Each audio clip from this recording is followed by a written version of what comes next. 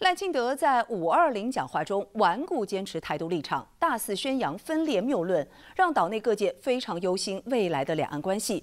台湾商业总会荣誉理事长赖正义呼吁赖清德当局应该释出善意，解除六月的附录禁团令。更有岛内旅游业喊出，若禁团令不解除，他们将在六月一号上街抗议。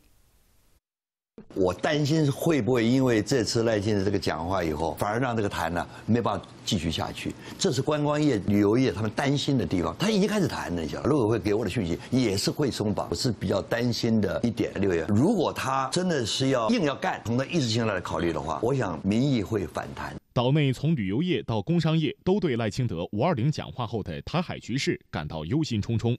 有业者向赖清德喊话，要求其解除六月一号起实施的禁团令，主动对大陆示出善意。六月一号恢复开放，台湾的团客可以去大陆示出这个善意，看有没有机会转还。旅游业者他们都说，如果赖没有在这几天开放团客可以去的话，大家都六月一号到。